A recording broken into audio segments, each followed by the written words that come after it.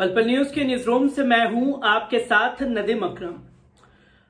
दूसरे चरण में लॉकडाउन की तरफ़ हम बढ़ रहे हैं क्योंकि देश में कोरोना वायरस बड़ी तेज़ी से फैल रहा है। और कोरोना वायरस सिर्फ़ उन जगहों पर ज़्यादा फैल रहा है जहाँ चुनाव नहीं है, जैसे कि बात की जाए दिल्ली की, महाराष्ट्र की, तमाम उन राज्यों की जहाँ चुनाव नहीं है, वहाँ कोरोना वायरस बुरी तरीके से फैला हुआ है और वो राज्य सरकारें सख्त से सख्त कदम उठाने के लिए, कोरोना वायरस को रोकने के लिए उठा रही हैं। और साथ ही साथ अगर बात की जाए, महाराष्ट्र में जिस तरीके से कोरोना वायरस फैल रहा है वहाँ जिम्मेदार कौन है? कौन इनके पीछे है? इन तमाम चीज़ों की जाँच होनी चाहिए और साथ ही साथ हमने कोरोना के पहले चरण में ये देखा था कि कैसे तबलीगी जमातियों को निशाना बनाया गया। दिल्ली सरकार ने एक ऐलान कर दिया कि जिम्मेदार जो हैं, वो तबलीगी जमात हैं। तो तमाम राज्य सरकारें उठ करके आई और सभी ने एक ही पैटर्न के ऊपर बात की कि जी हाँ तबलीगी जमात जिम्मेदार है। हम तबलीगी जमातियों के ऊपर कार्रवाई कराएँगे और केजरीवाल एक कदम आगे निकले। उन्होंने मौलाना साहब के ऊपर एफआईआर दर्ज कराने के लिए भी कह दिया। और साथ ही साथ अगर गौर किया जाए तो अब दूसरे चरण में इसका जिम्मेदार कौन है? आखिरकार कौन वो लोग हैं जिनकी वजह से कोरोना वायरस दोबारा देश में आया है और उन लोगों ने कोरोना को फैलाया है?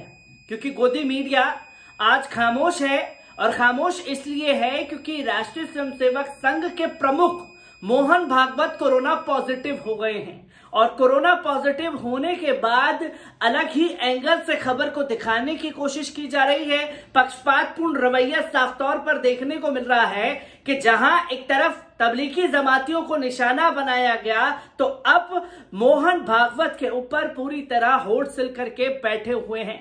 आखिरकार पूरा मामला क्या है, एक बार इस रिपोर्ट पर नज़र डाल लेते हैं। देश में कोरोना संक्रमितों की तादाद तेज़ी से बढ़ रही है। देश में बढ़ते कोरोना केस के बीच अब राष्ट्रीय स्वयंसेवक संघ के प्रमुख मोहन भागवत भी कोरोना वायरस की चपेट में आ गए हैं।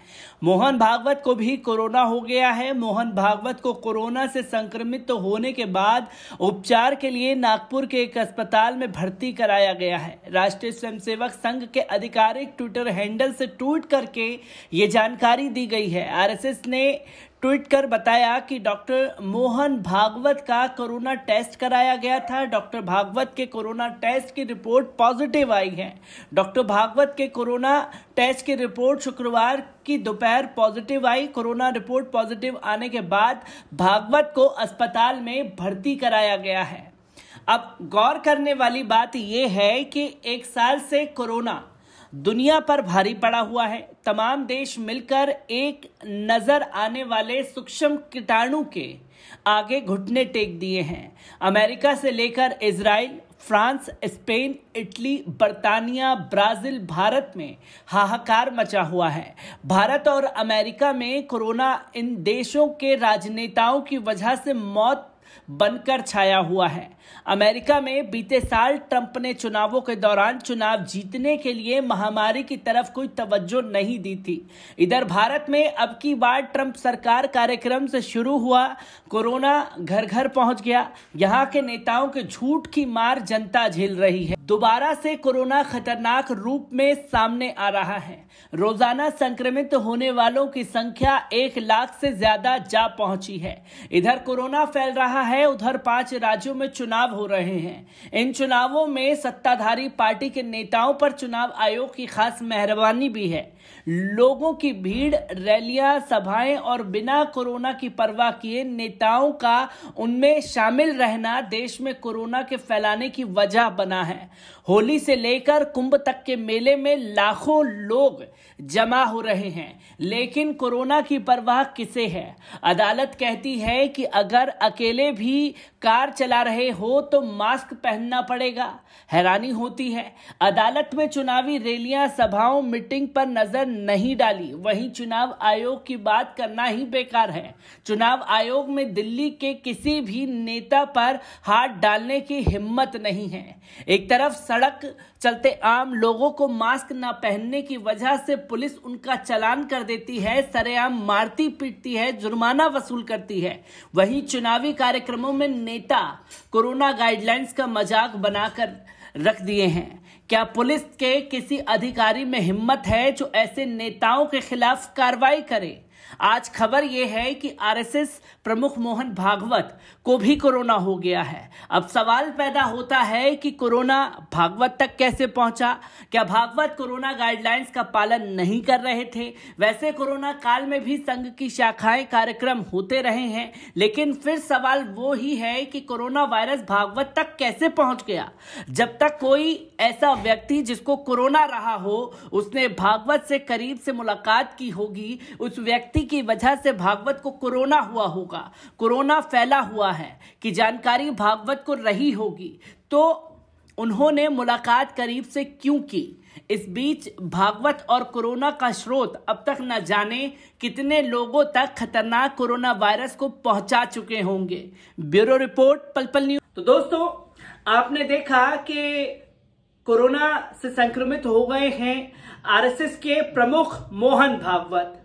जिसके ऊपर चर्चा होनी चाहिए कि लाखों संख्या में स्वयंसेवक संघ से जुड़े हुए लोग हैं और मोहन भागवत को अच्छी तरह से ये मालूम था कि देश में कोरोना फैल रहा है और जब मोहन भागवत को कोरोना हुआ है तो वो ज़रूर किसी ऐसे शख्स से मिले होंगे जिसे कोरोना होगा और जब कोरोना मोहन भागवत को हुआ है तो मोहन भागवत का लगातार हम वो रैलियाँ देख रहे हैं जिसमें लाखों की संख्या को मनाते हुए, लाखों की संख्या के लोगों से बात करते हुए मोहन भागवत नज़र आए हैं।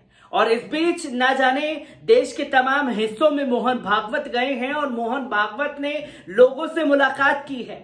सोचिए, मोहन भागवत को कोरोना है तो कितने लोगों में ये वायरस फैला होगा और उन वायरस से जितने भी लोगों को फैला होगा। उन लोगों ने कितने लोगों में ये कोरोना फैलाया होगा।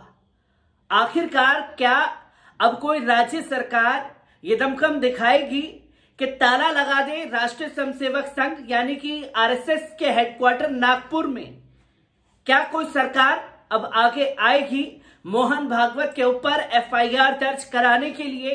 क्या कोई सरकार अब आगे आएगी जो राष्ट्रीय स्वयंसेवक से जुड़े हुए लोग हैं, उन्हें जेल की सलाखों के पीछे डालने के लिए।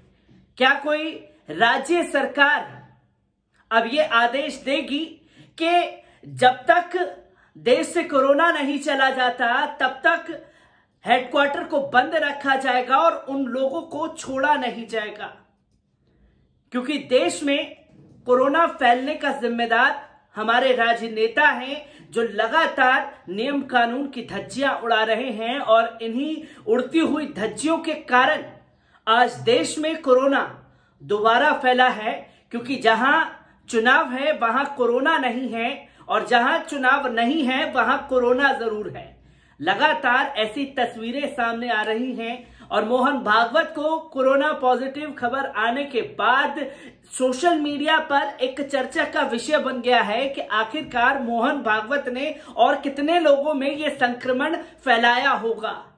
क्या अब कोरोना विस्फोट का जिम्मेदार राष्ट्रीय स्वयं सेवक प्रमुख मोहन भागवत हैं या आरएसएस से जुड़े हुए लोग हैं? कुछ ऐसी ही तस्वीरों के साथ सोशल मीडिया पर लोग अब सवाल कर रहे हैं और ऐसे ही सवालों को लेकर के मैं आपके सामने हाजिर होता रहूँगा। दीजिए मुझे इजाज़त। शुक्रिया।